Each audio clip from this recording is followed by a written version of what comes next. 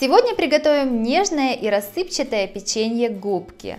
Такое печенье легко готовится и получается красивое, необычное и главное, что очень вкусное.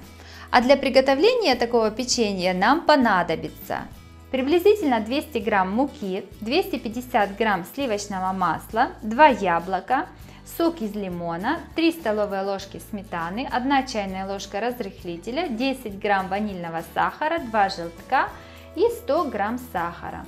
Сперва замесим тесто. В миску кладем масло комнатной температуры. Высыпаем сахар и ванильный сахар. Масло с сахаром хорошо взбиваем миксером. К масляной смеси добавляем желтки и сметану. Опять все взбиваем.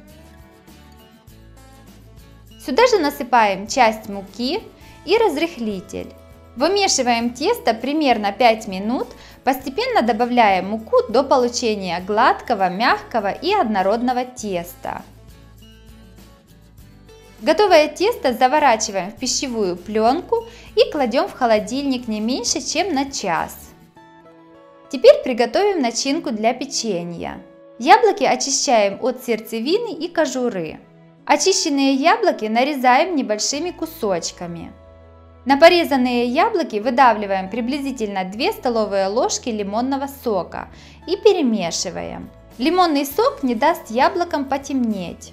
Охлажденное тесто достаем из холодильника и разрезаем на две части. Из одной части будем делать печенье, а вторую пока отправляем в холодильник.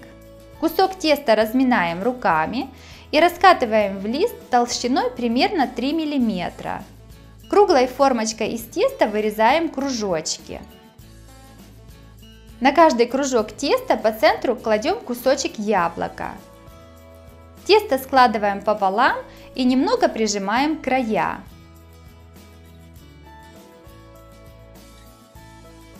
Подготовленное печенье перекладываем на противень, застеленный пергаментной или тефлоновой бумагой. Печенье ставим в духовку, разогретую до 200 градусов. Выпекаем печенье приблизительно 15 минут. Охлажденное печенье сверху посыпаем сахарной пудрой и подаем на стол. Печенье губки получилось очень нежное, рассыпчатое и невероятно вкусное. Обязательно его приготовьте, порадуйте родных и близких. Если вам понравился рецепт такого печенья, то обязательно ставьте лайк, подписывайтесь на мой канал Готовим дома. С вами была Оксана Пашко. Готовьте вкусно, готовьте с удовольствием.